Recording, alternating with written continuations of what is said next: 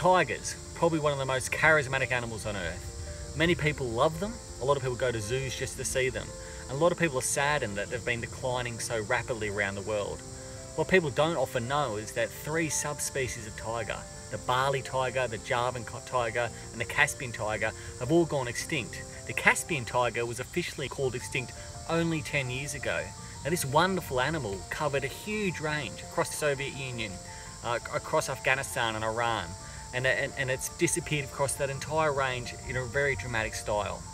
What we need to do is actually save tigers now. Tigers are an incredible animal and most of the subspecies are still declining. Here in Malaysia, the home of the Malay tiger, there's only 350 individuals left on Earth. But there is exciting prospects. This forest, Krau Wildlife Sanctuary, is only two hours from Kuala Lumpur and yet still holds tiger populations. And with the right funding and the right management, especially around poaching and especially around uh, keeping hunters out of these forests, these tigers will come back. That's the good news.